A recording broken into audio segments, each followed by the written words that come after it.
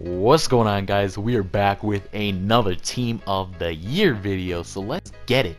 Um, under 23, as you guys remember from a while back, I made a prediction video about the under 23 first line prediction. We're going to scratch that whole idea because um, I decided to compress everything into one big pile, one big team. Um, because it makes it easier and I don't need to make 20 different videos about uh, who I think is going to be on each line. It's just easier if I make three, four videos on every single team of the year. So um, for that, it's going to be easier for me to do it like that, and at least that way you guys can see what a whole team team of the year may look like. Uh, obviously, it might not be accurate, but I guarantee you 80% of it, 80 to 90% of it should be accurate AF. So let's get it. Um, also, another thing, I put them all on the Oilers to make it easier, as well as I didn't play with their overalls because um, I think most of them will definitely get a 97 to 99 overall boost but um, there may be a few that might get like 93, 94 overalls, but I don't see that many being under 95, I would say. So most of these guys are for sure going to be above 95 overall. So let's get right into it, guys. We are starting off with the offense.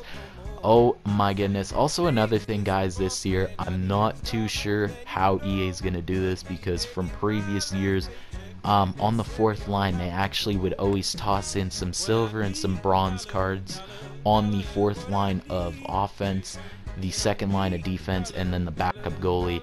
Um, I don't know how they're going to do it this year, if they're going to just keep it NHL. I feel like that would be a better idea because no one really cares about the, the Euro League and all the other minor leagues because, to be honest, when you buy NHL, you buy it for NHL players, not other other kind of minor league players. So no offense to those guys. I mean, they're so good at hockey, but I rather have an NHL team of the year. So anyways, guys, I put these guys on just um, just to be safe or just basically for insurance or whatever it may be. But anyways, starting off on the first line, Connor McDavid basically third in points right now behind Kucherov and Malkin. What can he do? 20 years old, franchise.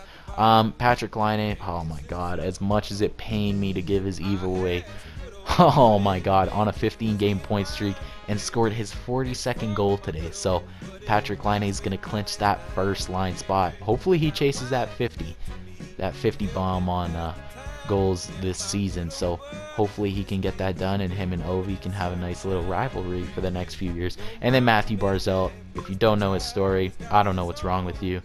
Oh my god. The most crazy part is this could have actually been a real lineup it, besides A. but I mean Matthews or sorry, McDavid and Barzell. I mean if the Oilers won the lottery too um, in 2016 and they got the first round pick, they would have got Matthews too, which is even crazier, but oh my god. I'm not even going to get into that because I'm just an Oiler fanboy. Anyways, second line, we got Barkov down the middle. I think I was generous. He may make the second line but he will definitely make third line minimum for sure. He's had a great season with Florida. A lot of Panthers have had a really good season. But we also have Matthews and Eichel. Now, a lot of you guys may have a problem with this. You may say, oh, these guys suck. They only have 50 points. Well, I mean, in all fairness, Matthews has 50 points in like 53 games, and Eichel has like 54 points in 56 games. These guys are the future of the NHL, and it's it's really kind of sad and it sucked because the only thing slowing them down are injuries. If it weren't for those injuries, I guarantee you these guys would be in top 10 scoring easy, man. These guys are amazing. Um, definitely two of the best players in the game right now, to be honest. Um, and for that, they're always going to make team of the year under 20 under 23 team of the year for the next two years two three years because they're just that good Anyways, moving on to the third line. That's just my debate for that, though. Just saying. My opinion. Some of you guys might think differently, but I think they're one of the best players. Moving on to the third line, though, we got Leon Draisaitl, Brock Boeser, and Mikko Rantanen. Him and MacKinnon tearing it up. Definitely deserves it. Leon had a rough start. Um, but he's picked it up recently. He's at like 62 points, so I don't see why he doesn't get one. And for 8.5 million Draisaitl, you better be getting one. I mean, you think you're worth all that money. And then Brock Boeser, baby, future of Vancouver, absolute beast at 20 years old. Oh my God, man, the future of the NHL is gonna be looking good. Oh man, oh man, him and Horvat will tear it up down there. Hopefully when the Sedins leave. But anyways, moving on to the final fourth line, Brayden Point, Mitch Marner, Mickey Mouse over there, and Teuvo Teravainen. Teuvo Teravainen, Sebastian Aho, and Carolina's actually surprised a lot of people this year. But um, Brayden Point with Tampa, great season playing with Kucherov and Stamkos. And then Mitch Marner has like 60 points as well right now. So he has really put Toronto on his back in the absence of Auston Matthews. So um, also there are a couple uh, honorable mentions for sure that I made sure I put on. Uh, I don't have any for defense, but I have quite a few for offense. So we do have Nikolai Ehlers, Matthew Tkachuk, Sebastian Aho, Dylan Larkin. Uh, we're going to forget about Morgan Rielly because he's actually 24, so I messed that up. And William Nylander. Um, and like I said, guys, it's one of those things again, like Larkin and Tkachuk could be on the team of the year, but they only have 50 points. And some of you guys might think I'm stupid because I just said Eichel and Matthews have 50 points, but these guys also have 20 more games played than them. So um, basically, the other guys are a point per game, while these guys are basically like a 0.8 per game, if that makes sense to you guys. Either way, they're not better than Matthews and Eichel. That's the reality. Unfortunately, sorry, Calgary and Detroit fans, but that's the reality of it. Nikolai Ehlers, same thing. Like he's probably good. He is good, but he's not better than Laine, to be honest. Same with Nylander. Same with Aho. Um, Aho and Teravainen are actually head and head right now. It's very debatable which one could actually make it. You never know. EA might switch it up. You never know. Either way, guys, we are going to move on to the defense. Oh, and I don't even know what I'm doing. Starting lineups. Here we go. Defense, baby. Let's go. We obviously got Sergachev and Jones. These two guys are the ones I think that will definitely get that 99 overall. Most likely Seth Jones, Sergachev maybe 97, 98, and then Will Butcher and Provorov probably 95, 96 overall. Ristolainen and Darnell Nurse are a kind of iffy, maybe 92, 93 overall. Um, and like I said, I don't know if they're actually going to cut off the third line defense and put in bronze and silver cards. I don't know.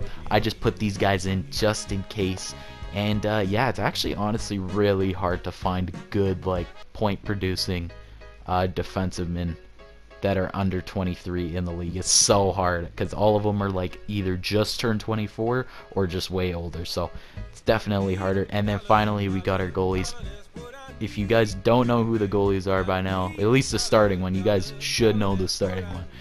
Absolutely insane. He might even win the Vezina. Oh yeah, Vasilevskiy, baby. Only an 84 though. Very surprising. I do see him getting a 99. Matt Murray probably like a 94, 95ish. I don't see him getting anything crazy. Although Pittsburgh's offense is disgusting, I do see his offense getting a huge upgrade. Vasilevskiy 99, Matt Murray probably a 93. So that is an overall look at what the team most likely will be. Like I said, this is probably not exactly like person for person, um, but I guarantee you this is at least 80 to 95% accurate, I would say, um, for sure. So, with that being said, guys, yeah, that's going to do it for that. That is basically what the offensive, or sorry, the under 23, I don't know why I'm thinking offensive. These guys are just so good. I don't know. Either way, guys, that is the under 23 team of the year. So let me know who you guys think that I missed out on or who um, you think should have made the team that I didn't put on. Remember, these are also the other guys that I basically put for honorable mentions. Um, yeah, I think this was pretty accurate. Um, Tkachuk, Larkin, yeah, I don't think they'll make it. Nylander, Ehlers, and Aho. Aho might be the one that might make it out of all five of these guys, but um, I would say most of this was pretty accurate. I don't know. You guys let me know in the comments down below Was this a good prediction video? You guys think I'm pretty accurate? I don't know. I think this was good. Either way, guys, hope you guys enjoyed the video. Make sure you smash a like, because why not? And uh, hope you guys have a great day. And I will see you in the next one. Peace.